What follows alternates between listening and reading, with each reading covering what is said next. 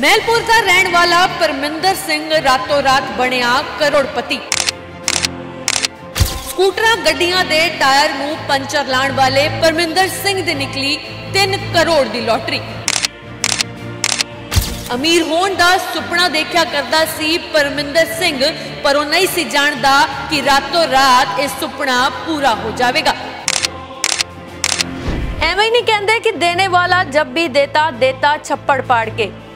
Scooter ਗੱਡੀਆਂ ਦੇ ਟਾਇਰਾਂ ਨੂੰ ਪੈਂਚਰ ਲਾਉਣ ਵਾਲਾ ਰਾਤੋਂ ਰਾਤ ਕਰੋੜਪਤੀ ਬਣ ਗਿਆ ਉਸਨੇ ਦੱਸਿਆ ਕਿ ਉਹ ਕੌਣ ਬਣੇਗਾ ਕਰੋੜਪਤੀ ਦੇਖ ਕੇ ਸੁਪਨਾ ਲਿਆ ਕਰਦਾ ਸੀ ਕਿ ਮੈਂ ਵੀ ਕਦੇ ਇਸ ਮੰਚ ਤੇ ਬੈਠ ਕੇ ਕਰੋੜਾਂ ਰੁਪਏ ਲੈ ਕੇ ਆਪਣੇ ਘਰ ਪਰਤਾਂਗਾ ਅਤੇ ਆਪਣੀ ਜ਼ਿੰਦਗੀ 'ਚ ਸੁਧਾਰ ਕਰਾਂਗਾ।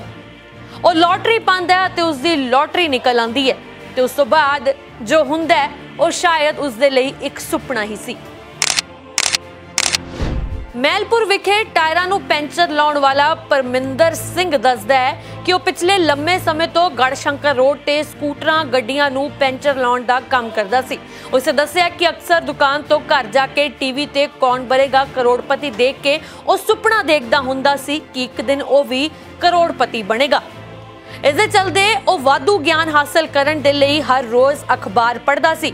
ਉਸਨੇ ਦੱਸਿਆ ਕਿ ਇੱਕ ਵਾਰ ਅਮੀਰ ਹੋਣ ਦੇ ਲਈ ਪੰਜਾਬ ਅਤੇ ਵੱਖ-ਵੱਖ ਸੂਬਿਆਂ ਦੀਆਂ ਸਰਕਾਰਾਂ ਵੱਲੋਂ ਸ਼ੁਰੂ ਕੀਤੀਆਂ ਕਰੋੜਾਂ ਰੁਪਏ ਦੀਆਂ ਲਾਟਰੀਆਂ ਸਿਰਫ ਦਿਨ ਤਿਉਹਾਰ ਵਾਲੇ ਦਿਨ ਉਹ ਜ਼ਰੂਰ ਖਰੀਦਦਾ ਸੀ।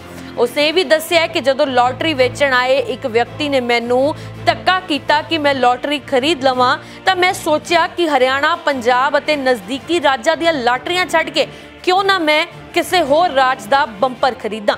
ਇਸੇ ਦੇ ਚਲਦੇ ਉਹ ਨਾਗਾਲੈਂਡ ਰਾਜ ਦਾ ਲੋਟਰੀ ਬੰਪਰ ਖਰੀਦ ਲੈਂਦਾ ਤੇ ਫਿਰ ਕੀ ਹੁੰਦਾ ਉਹ ਤੁਸੀਂ ਸੋਚ ਵੀ ਨਹੀਂ ਸਕਦੇ। ਰਾਤੋਂ ਰਾਤ ਪਰਮਿੰਦਰ ਸਿੰਘ ਕਰੋੜਪਤੀ ਬਣ ਜਾਂਦਾ ਪਰਮਿੰਦਰ ਸਿੰਘ ਨੇ ਕਿਹਾ ਕਿ ਉਹ ਜੱਦੀ ਪੈਂਚਰ ਲਾਉਣ ਦਾ ਕੰਮ ਕਰਦਾ ਸੀ ਤੇ ਇਸ ਨੂੰ ਉਹ ਨਹੀਂ ਛੱਡੇਗਾ, ਬਲਕਿ ਕਰੋੜਾਂ ਰੁਪਏ ਦੀ ਲੋਟਰੀ ਬੰਪਰ ਜਿੱਤਣ ਦੇ ਨਾਲ ਉਹ ਹੁਣ ਲੋੜਵੰਦ ਪਰਿਵਾਰਾਂ ਦੀ ਮਦਦ ਕਰਨ ਦਾ ਫੈਸਲਾ ਲੈ ਚੁੱਕਾ ਹੈ। ਪਰਮਿੰਦਰ ਸਿੰਘ ਦਾ ਕਹਿਣਾ ਹੈ ਕਿ ਉਸ ਨੂੰ ਯਕੀਨ ਹੀ ਨਹੀਂ ਹੋ ਰਿਹਾ ਕਿ ਉਹ ਲੋਟਰੀ ਦੀ ਟਿਕਟ ਜਿੱਤ ਚੁੱਕਾ ਹੈ। ਲੋਟਰੀ ਜੋ ਨਿਕਲੀ ਤਾਂ ਬਹੁਤ ਵਧੀਆ ਲੱਗਾ ਜੀ ਸਾਨੂੰ। ਬਹੁਤ ਜ਼ਿਆਦਾ ਐਕਸਾਈਟਮੈਂਟ ਸੀਗੀ। ਔਰ ਰੱਬ ਨੇ ਸਾਨੂੰ ਇੰਨਾ ਕੁਝ ਦਿੱਤਾ ਜਿਹੜਾ ਕਿ ਸੋਚਿਆ ਨਹੀਂ ਸੀਗਾ। ਸ਼ੁਰੂਆਤ। ਲੋਟਰੀ ਮੈਂ 3 ਸਾਲ ਤੋਂ ਪਾਉਣਾ।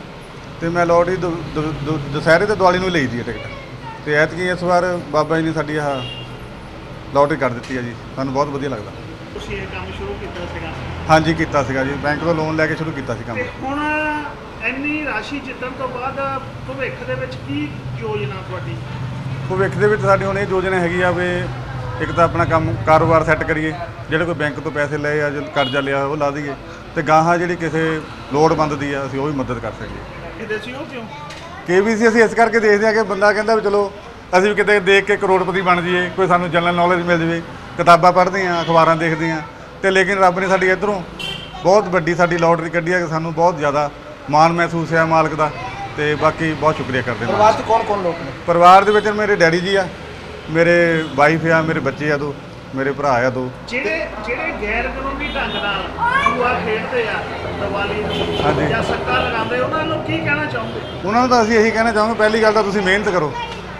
ਠੀਕ ਆ ਜੀ ਮਿਹਨਤ ਕਰੋ ਜ਼ਰੂਰੀ ਹੈ ਮਿਹਨਤ ਕਰਨੀ। ਜੇ ਤੁਸੀਂ ਕੁਝ ਵੀ ਆਪਣੇ ਵੱਡੇ ਆਦਮੀ ਬਣਨਾ ਚਾਹੁੰਦੇ ਤਾਂ ਕਿਤੇ ਇਦਾਂ ਦੇ ਬੰਪਰ ਨੂੰ ਯੂਜ਼ ਕਰੋ ਜਾਂ ਵਰਤੋਂ ਕਰੋ ਵੀ ਜਿਹੜਾ ਤੁਸੀਂ ਸਾਡੇ ਵਾਂਗੂ ਤੁਸੀਂ ਵੀ ਕਰੋੜਪਤੀ ਬਣ ਸਕੋ ਤਾਂ ਇਸੇ ਦੇ ਨਾਲ ਇੱਕ ਲੋਟਰੀ ਦੀ ਟਿਕਟ ਨੇ ਪਰਮਿੰਦਰ ਸਿੰਘ ਦੀ ਜ਼ਿੰਦਗੀ ਦੀ ਕਾਇਆ ਪਲਟ ਕੇ ਰੱਖ ਦਿੱਤੀ ਹੈ।